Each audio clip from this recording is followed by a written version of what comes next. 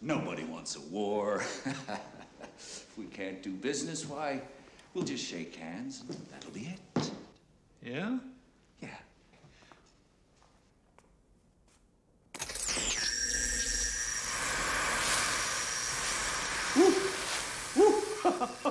Oh, I got a live one here.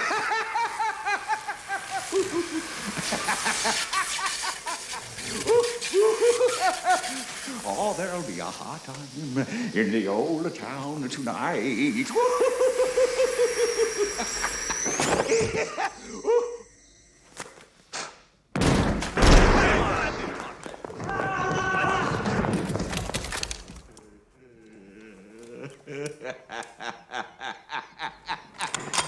Antoine got a little hot under the collar. You're crazy. Had you ever heard of the healing power of laughter?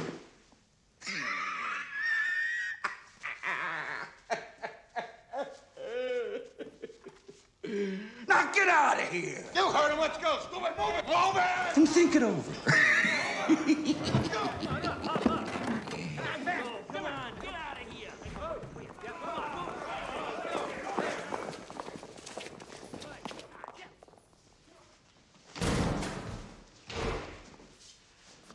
Bob, once you go down to the Globe, follow that reporter Knox, take your camera, see what he knows about this Batman. And Bob,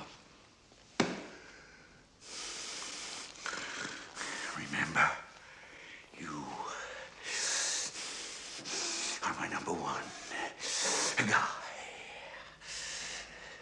Yes, sir.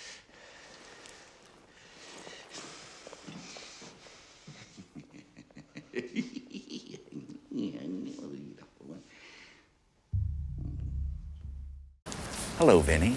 It's your Uncle Bingo. Time to pay the check. There was a conversation about who should play the Joker.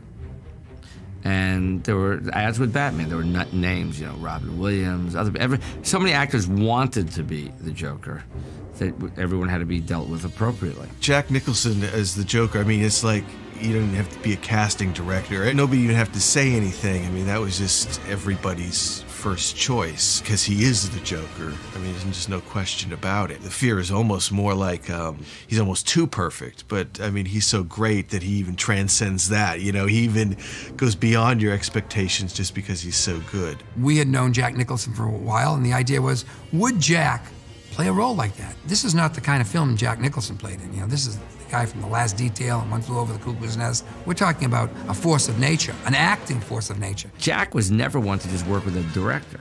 There was no one, no actor alive who respects a filmmaker more once he decides to do it. But he has to decide to do it.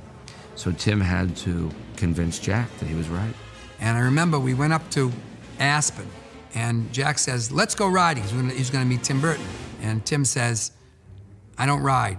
And I said to him, You do today, you know? And there's a picture of him on the horse with, with, with Jack. And Jack's a good rider, really good rider. And, and Tim Burton looks like he discovered God on that horse. I, I, I was terrified, and it's like, there's I'm out with Peter Guber and, and Jack Nicholson on horseback, you know, up in, in Aspen. I'm going. I didn't realize this was horseback riding was part of my job description, but uh, it was uh, sur- you know it was a surreal moment. He was not a happy camper, but he did it, and Jack committed to the project. I don't know because of the horse riding, but but I think that uh, they they had a good bonding there, and that moved the project yet further ahead.